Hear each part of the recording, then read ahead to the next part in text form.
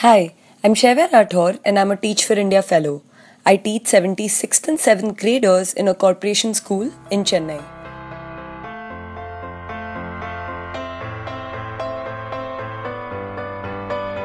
The smoke goes to the atmosphere and there is becoming gold. What is the one word to explain this phenomenon that he's talking about? I was an engineer by profession until I realized I was passionate about the ed sector and joined this movement to provide excellent education to all children to bridge the gap between the privileged and the underprivileged.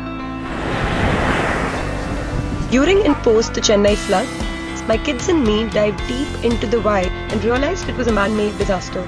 We also realized that tackling effects of climatic change and building sustainability were crucial to our future. Around that time, I came across 2041, an organization working towards the same to preserve the pristine continent of Antarctica. I applied to their expedition, a leadership program hosted by Robert Swan, to experience climatic change real time and brainstorm solutions to combat its destructive effects with 80 other individuals from across the world. I'm extremely delighted to be selected for the expedition among very few in the country.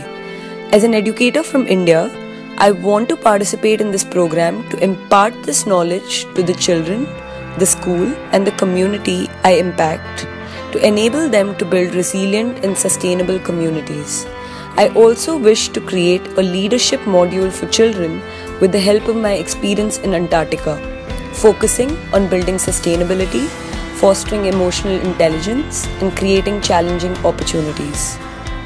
The task that lies ahead of me is that to get on the ship to Antarctica, I need to raise 10,000 US dollars, which is the expedition fee. Of the total amount, I've managed to raise 4,000 US dollars, but I still require 6,000 US dollars in 40 days, and am hence crowdfunding through this brilliant platform.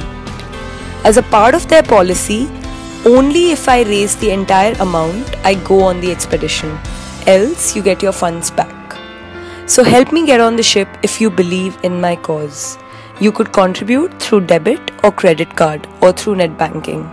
I also have amazing rewards and giveaways planned.